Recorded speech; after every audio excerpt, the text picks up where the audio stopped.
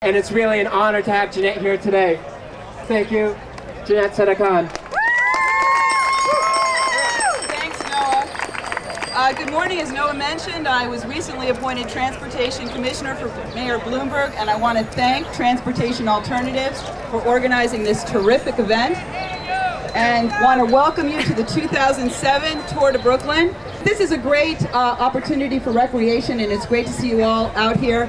But, but cycling is also uh, the backbone of our city's transportation network, and we need to do more to find ways to build out our transportation infrastructure to include biking, um, and that's what we want to change. And Brooklyn Cycling Network continues to evolve, and we really want to do everything we can uh, to make that happen. And moving forward, we're going to dramatically increase this with Mayor Bloomberg's sustainability program. We're going to continue to invest, make better connections to the biking network, make better intermodal connections to our transit stations, and do everything we can to improve the quality of life for bikers in this city. So thank you so much. I look forward. None of this could happen without you.